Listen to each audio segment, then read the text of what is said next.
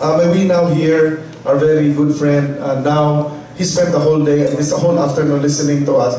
Uh, salamat kayo. We would like to thank Secretary Simato for his patience in sitting down and listening.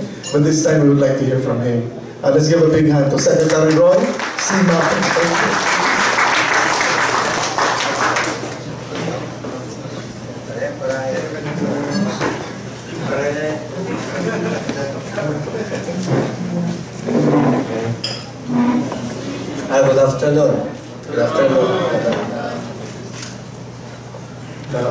Did not know that meron pala ganito.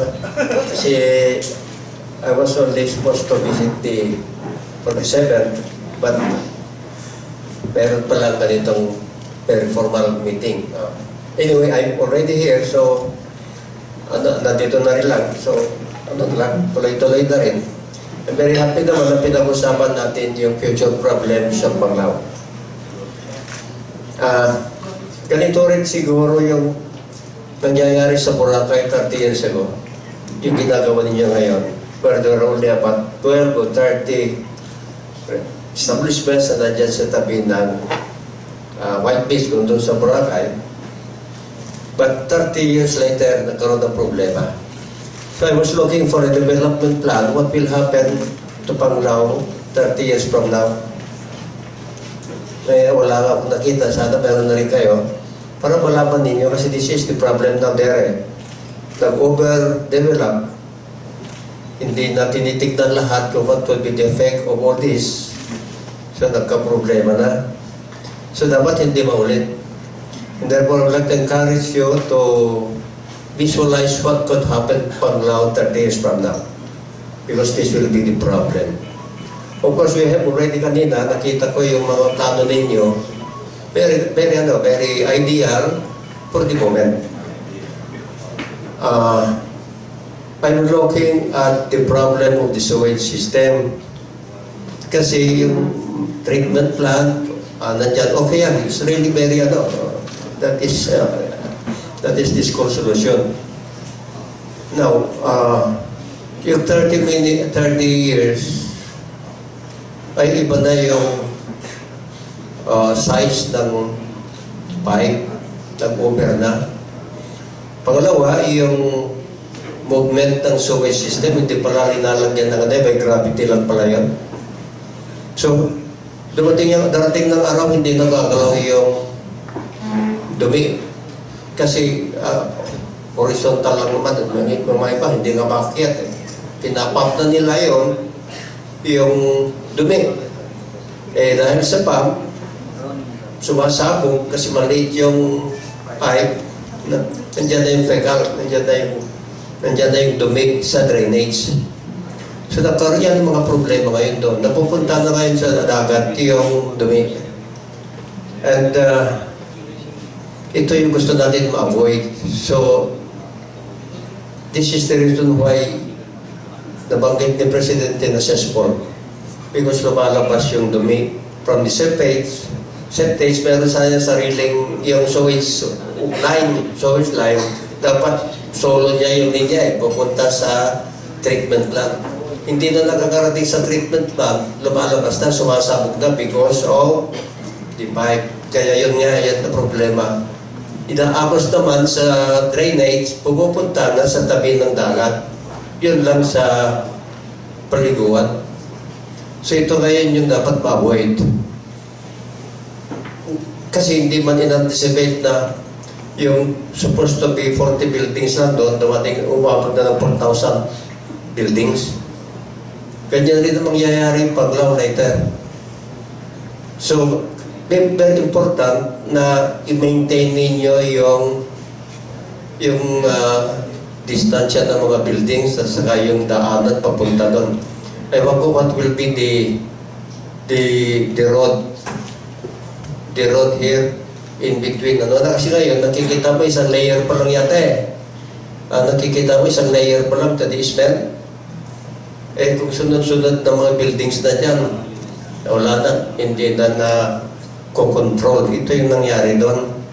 Kalsada, it is traffic ngayon in Boracay. When you land ng daycare, papunta ka sa hotel mo, it will take you one hour to reach your hotel. With only about 6 kilometers ang distance pupunta doon. So these are the problems there in Boracay. And the, the reason why nagkaroon ng problema is hindi nasunod yung development plan, hindi nasunod kanya-kanya ng lagay ng building, wala ng control ng LGUs, yung control ng mayor wala na. So ito po yung nangyari doon.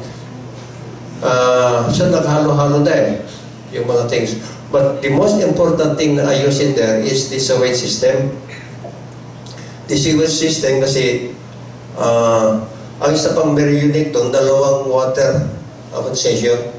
The Boracay Waters, which provide water with some establishments at saka the other one is the sewage system. Yung isang concessionaire is only uh, water plus ability, capability to uh, septage naman ito. So ito yung mga nagkahalo-halo na yung mga problema. Ah, ngayon, what should be done? Okay, easement, uh, and the sewage po na. On the sewage, uh, I would like to suggest that now, you should have already a development plan for Panglao. What should happen 10 years from now, 20 years from now, 30 years from now? So uh, yun nga, para may susundan yung mga next generations of leaders. Because our leaders now, mag-iiba na naman later on, hindi na sinusunod yung mga pinapano yung mga older generations. Because, kanya-kanya na yan. Uh, I don't know kung meron na tayong development plan po Panglao. Di Panglao Tourism Development Plan. Uh, ilan ba yung carrying capacity ng Panglao? Ilan ba dapat ang carrying capacity ng Panglao? Not only the area, the capability, tubig, kuryente, and so forth and so on. We should know the capability of Panglao now para hindi tayo ma-overtaken ng events para wala na tayo maging problema in the future. Because I'm very sure Panglao will be several years from now, marami ng tao rito sa Panglao. The reason why nakita niyo yung uh, international airport ay intended really for international tourism. Nakita ko rin na it's not only yung beaches at sa dagat at pupunta ng tao rito. Maraming reason pupunta eh. Unlike in Boracay, nakita ko when I was there, ang, ang, ang average age na nagpupunta sa Boracay is between 18 years old to 25 years old. Wala akong nakitang matanda doon. Wala akong rin nakitang bata. So, ang nagpupunta lang doon, yung gustong mag-enjoy ng araw, swimming, gabi, good night, doon sa tabi ng beach. Uh, sa sayawan sila, kantaan sila. The following day, gano'n na naman. So these are the things na nakikita natin sa Boracay. Ngayon, kung matanda ka na, hindi ka na pupunta doon eh. Kasi hindi ka rin mag-enjoy sa ingay at saka sa ano, uh, unlike, unlike here, na mayroong pupunta ng matanda, yung pinunta natin sa forest area kanina, pupunta sila doon, pupunta sa river, may pupuntahan, like Palawan. Yung mga matatanda, they have a plan in Palawan ngayon for senior citizens. Paglalanding yung aeroplano doon, yung mga kabataan mag-swimming, yung matanda, doon sila, tatabi lang sila doon sa Buswanga, manood ng mga baka. Yung mga iba naman, makita yung giraffe at saka mayroong zebra doon eh. Lang sila doon maghapon, kape-kape, titingin lang yan sa nature. Happy na yan. So these are the things that dito nandito lahat eh. Dito sa Panglao. Kaya I'm very positive that if tourism really will prosper here, it's not, in, it's not only the beach in Panglao, because the people that will be going there ay yung sinasabi kong age bracket na yan. Yan lang ang pupunta dyan. Yung mga pupunta sa river will be different. Yan na sinasabi ko, Governor, kayo in the right direction. Tama po yung ano nyo. Oo. Dahil hindi naman ako expert sa tourism. In fact, I'm not even tourism. Eh. Pero nakikita ko, na-observe ko kasi eh. Yan doon. And for the information of everybody, I brought the DNR to Boracay now.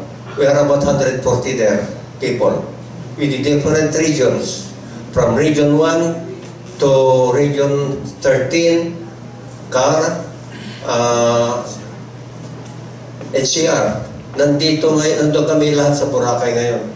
Pinadivide ko into six areas yung Boracay. Dinagyan ko yung mga regions doon. Nandun sila. They were very happy. First time sila makakita, especially yung mga Region 7.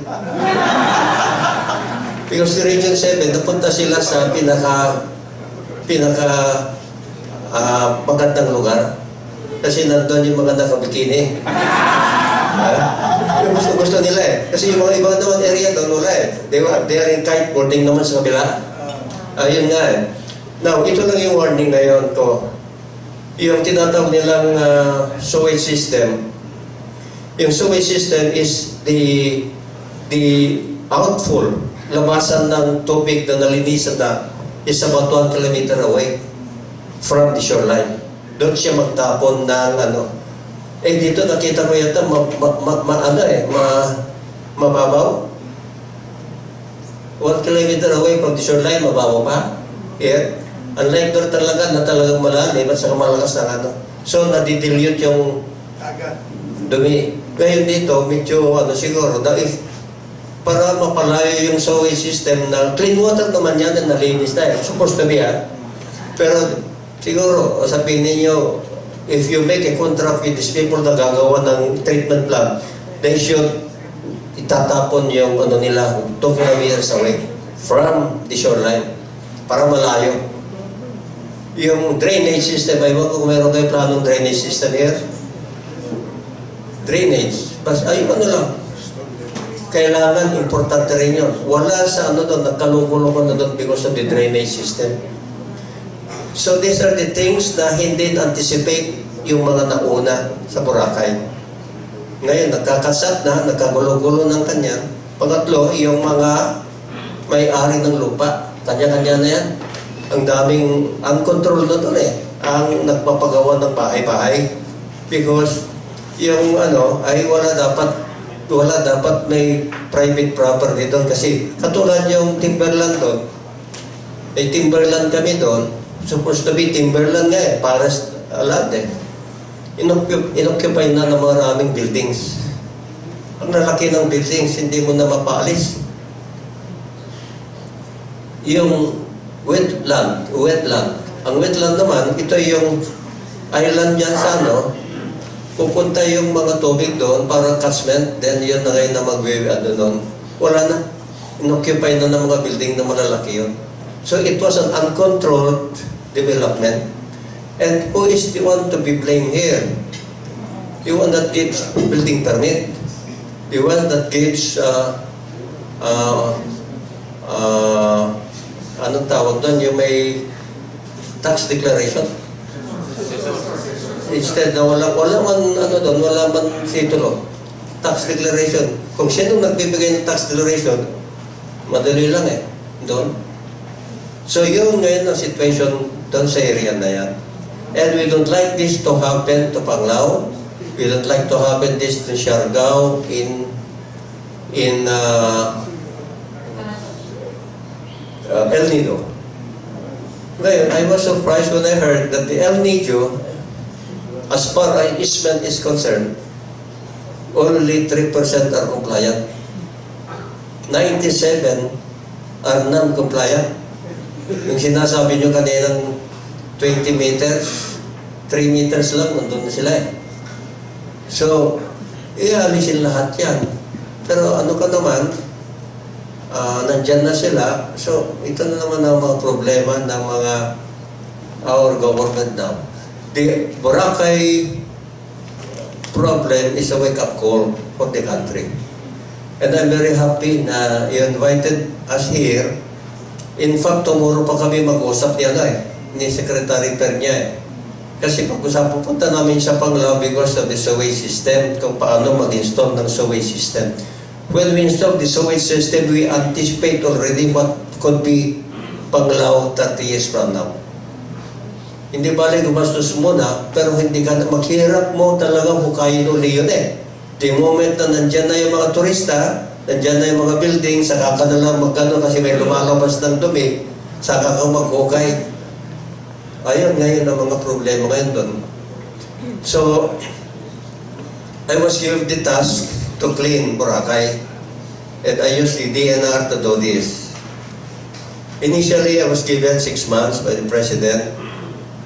Now, uh, six months, we are we have, we have been there already for about a month now.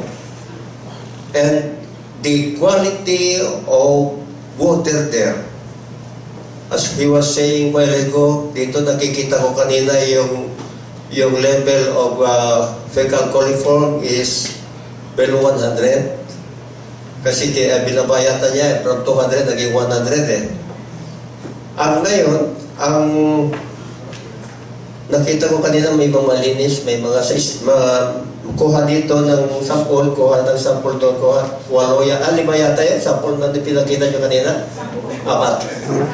So, apat na areas sila kumuha ng sample, then binamoratorian, may mga iba, mayroon fecal coliform, mga iba, okay naman.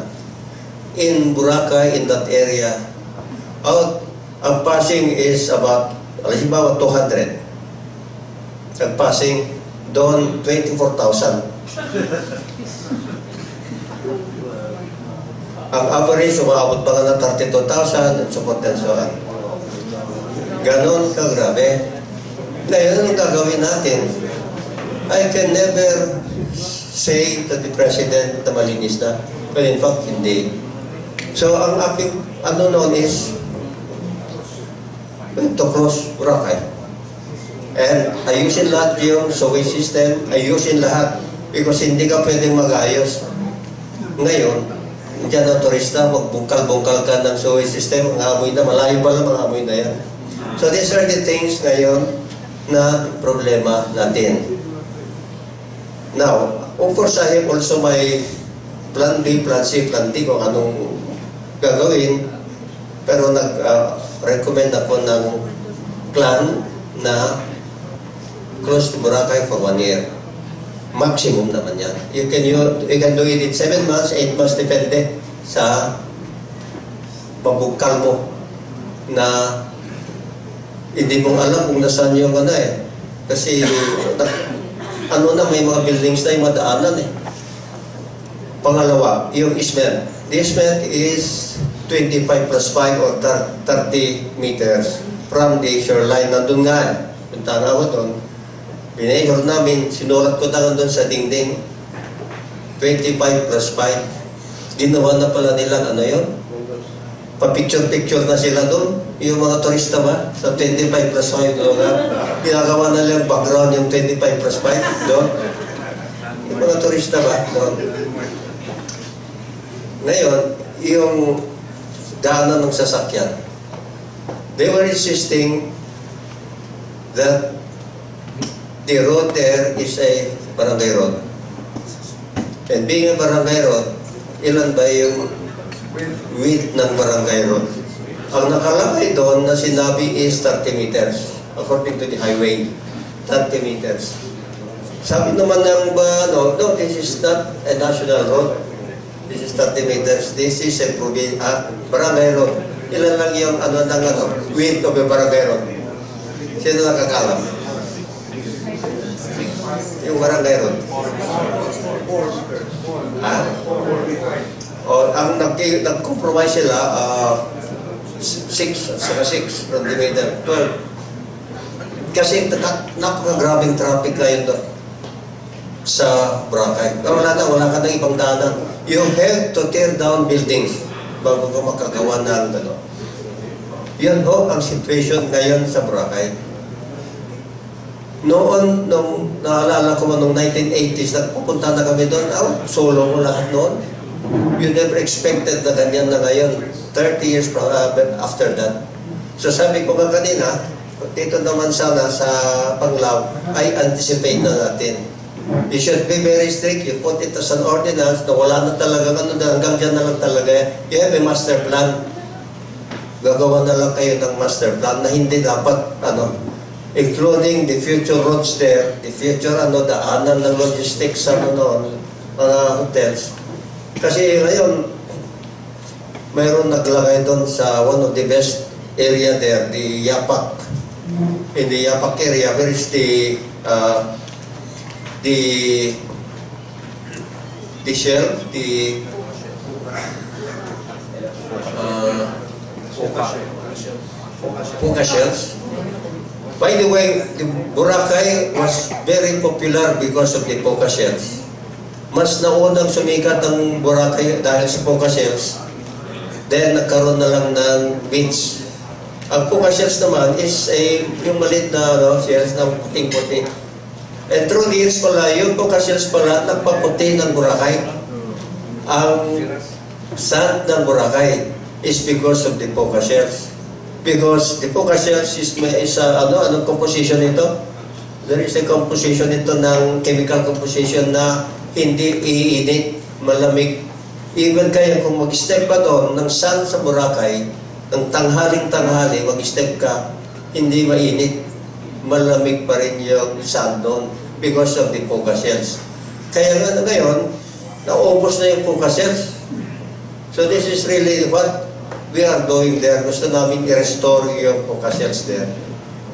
So these are the things na ginagawa natin ngayon doon. Ayusin ng uh, COH. Yung uh, establishment is 13 meters from the high mark, high tide mark from the shoreline. Pangatlo, yung kalsada, kailangan gawing 12 meters yan. Kailangan yung mga illegal uh, buildings doon sa timberland ay malis. Yung nasa wetland, i-restore yung wetland. Ito yung gagawin sana namin. I don't know if we can do it in one year nga. But, we'll hope for the best. We'll just hope for the best na kung anong magawa natin. There are several nag-oppose dito because of yung mga kawawa yung mga ano, nagtatrabaho doon. It's really, totoo naman na kawawa. So this is ay sinasabi nga yung mga iba na niririnig ko that we have to do it once and for all we can do it. Sabi nga nila, no pain, no gain. Yeah? So ito ngayon ang ano natin, masakit man, pero this is uh, what we should do. Ngayon, kung ano naman, kung pagbigyan naman natin yung mga ibang, let's say, uh, instead of one year, ano tayo, ito lang magawa mo. We can only do this. Uh, let's say kung sabihin natin 2 months, 3 months, ito lang magawa natin. But we can still continue doing it anyway. Pero lang ano, ma-interrupt, interrupt lang. So these are the options that we are doing now in Boracay. And uh, I just hope that 30 years from now, wala na siguro tayo rito, hindi mangyari dito sa Panglao. And the ball is in your hands, especially mga kabataan dito. Yung mga 20 years old, 15 years old ngayon, will be the one to inherit Panglao deeds in the future. We just wish them the best of luck because this is only the way to avoid another Boracay. Maraming salamat. Thank you very much. Thank you very much, Secretary Zimato. Very well said, and the message is very clear. Thank you very much. Thank you very much. So, uh, we asked the Sangguniang Panlalawigan members with the Vice Governor to present officially to the Secretary a copy of the Environment Code of the Province of Bohol. And then we would wind up our activity with this. Thank you very much and good evening to everyone. The meeting is adjourned.